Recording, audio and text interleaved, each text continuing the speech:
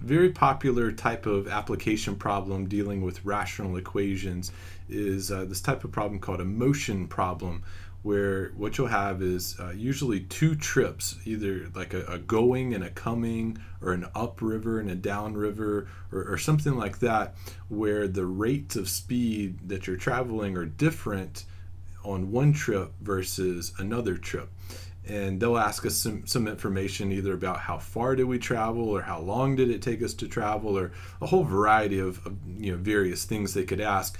But it's, it's basically centered around the distance that you've traveled the rate of speed that you traveled and, and how long you traveled. Um, very basic physics these three quantities are all related by a simple equation. It's distance equals rate times time the distance that you traveled is equal to the rate of speed that you're traveling times how long you traveled at that speed. And we know this equation intuitively um, just from everyday life. If you were in your car and you went 40 miles an hour and you drove that fast for two hours, intuitively you know you went 80 miles. But, but what you're really doing is you're taking 40 miles per hour, which is a rate, times two hours and getting 80, but 80 miles is a distance. So you can summarize that equation as d equals r times t. And this equation here can be manipulated. You could say d equals r times t. You could say time equals distance over rate. Or you could say rate equals distance over time, just use, using algebra.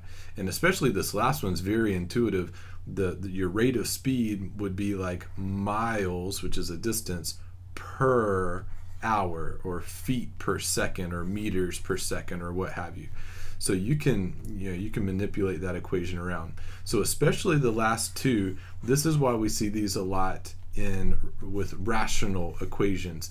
Now you can do a similar type problem in the unit on systems of equations, but that's not the type we're going to solve here.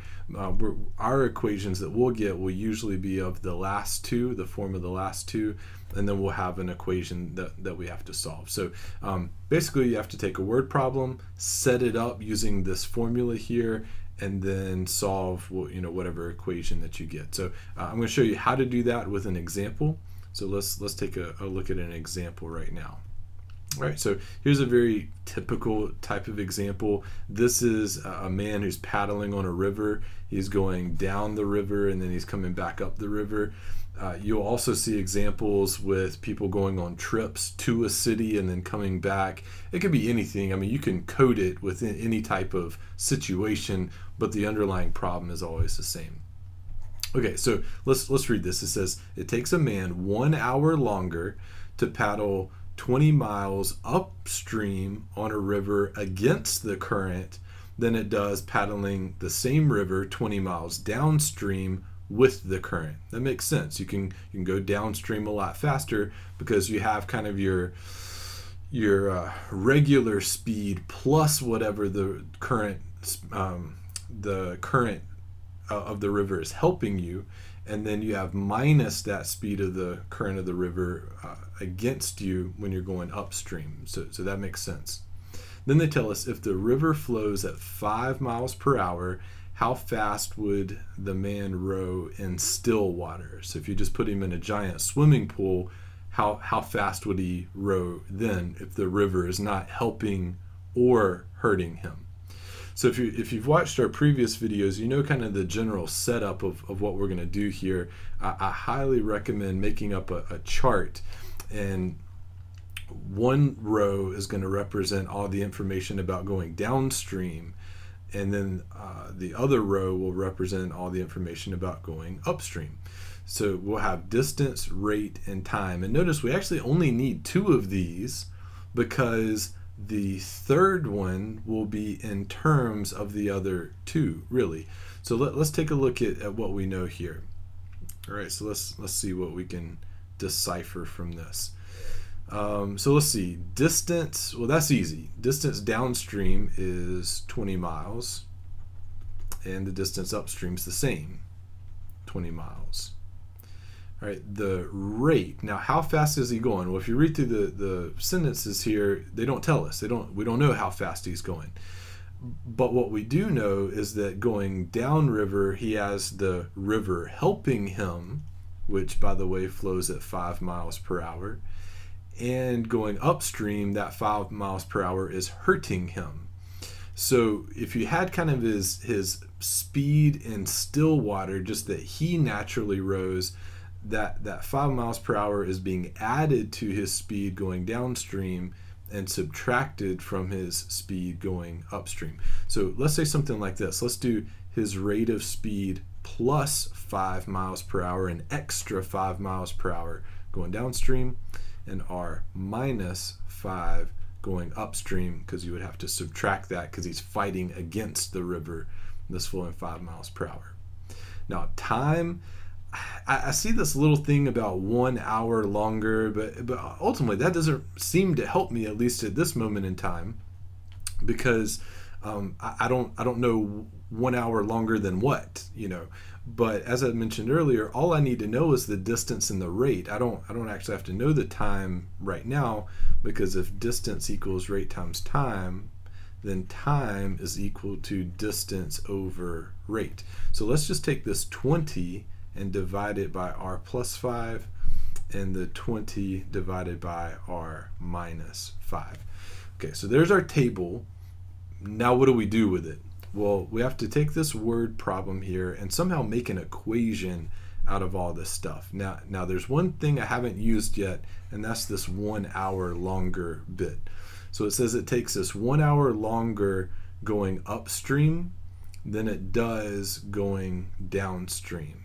Okay, so let's let's think about that. So if we have our upstream amount of time, which is 20 over r minus 5, then that amount of time would equal uh, our amount of time going downstream, which was faster, by the way, plus another hour, right? Because it was one hour longer going upstream than it was going downstream. So just to make up some numbers, if it took us four hours to go downstream, and I made that number up, then plus one, that means it would have that would have been equal to five hours going upstream.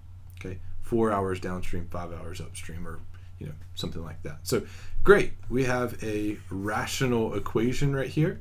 If we can solve that for r, then what we'll have is um, uh, our r value. Uh, that that'll be our answer that indicates how fast this guy would row in still water, not with the current helping, but also not with it hurting either. So let, us remember this, and then we'll jot it down on, on the next sheet here. Um, so just so we have some space to work. So 20 over r minus 5 equals 20 over r plus 5 plus 1.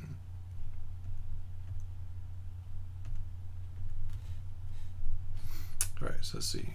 20 over r minus 5, that was minus 5, right? Yep.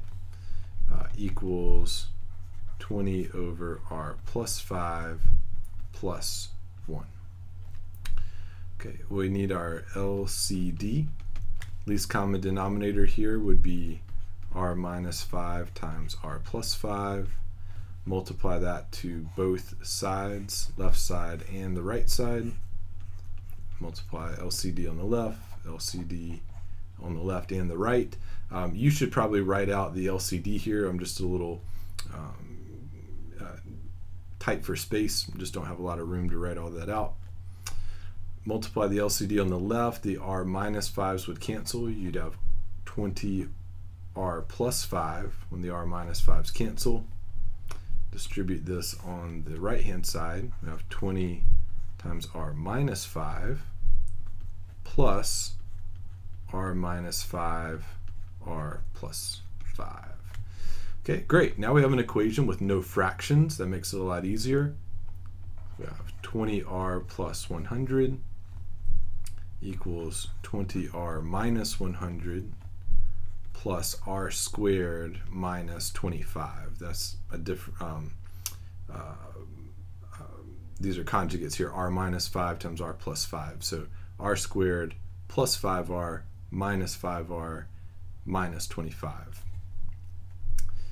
All right, um, clean this up a little bit. We can subtract 20r from both sides. Let's see, we've got r squared. That's already positive, so let's leave it on the right. We have minus 100 minus 25, which is minus 125, minus another 100, which would be minus 225 equals 0. This will factor as r plus 15 times r minus 15. That's a, a difference of squares there. Um, you could also add 225 to the left and then take the square root if you'd rather. But, but here we see r equals either negative 15 or r equals positive 15. Okay, now what does that mean? Well, if you remember previously, r was his speed in still water, um, where we added 5 when he was going with the current and subtracted 5 miles per hour when he was going against the current because 5 miles per hour was the speed of the river. Now, one of these answers doesn't make sense. Um, his rate of speed can't be negative 15 miles per hour, so I think it'll be 15.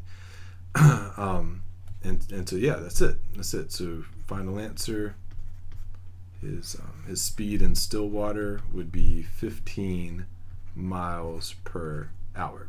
So, anyways, that's how we set these up. Um, if you had a different type of problem, certain things might be slightly different, but uh, the general setup of the problem is the same. You start with a table, one row is one trip, the other row is the other trip. Put in your information for distance, rate, and time, and then make up an equation that you can solve and, and get whatever it is that you're looking for. In this example, we were looking for a rate. You might have another example where they might want the time, you know, the total time on the river. Um, another might ask how far they traveled. So you, you never really know what you're going to be asked for, but as long as you can set your equation up, you should be able to finish it out no matter what they ask you for.